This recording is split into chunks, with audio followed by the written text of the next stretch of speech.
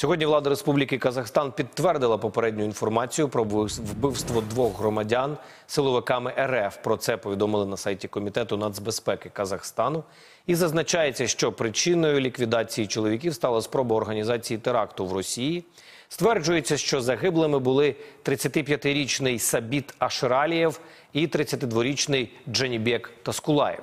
Вбили їх зранку 7 березня в селі Карякова Боровського району Калузької області.